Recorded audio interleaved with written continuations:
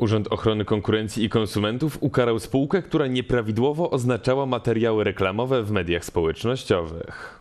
Urząd Ochrony Konkurencji i Konsumentów określa zasady oznaczania reklam w mediach społecznościowych, tak by konsument nie był wprowadzany w błąd. Odbiorca musi wiedzieć, czy dany materiał jest sponsorowany i posiada charakter handlowy, czy wyraża bezstronną opinię o danym produkcie. Prezes UOKiK-u po roku od opublikowania rekomendacji wyciąga wnioski. Nałożyłem kary przekraczające 5 milionów złotych za nieprawidłowe oznaczanie materiałów reklamowych w mediach społecznościowych. Decyzje dotyczą spółki Olimp Laboratories, jednego z liderów branży suplementów diety oraz influencerów branży fitness. To pierwsza kara, jaką urząd nałożył za nieprawidłowe oznaczanie treści reklamowych. Spółka płaciła za reklamę swoich produktów w postach oraz relacjach influencerów.